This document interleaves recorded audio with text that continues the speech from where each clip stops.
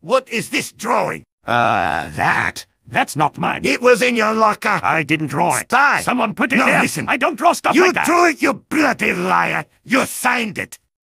Oh. Did I sign it? Spy, why did you draw yourself as a buff, two-legged wolf person?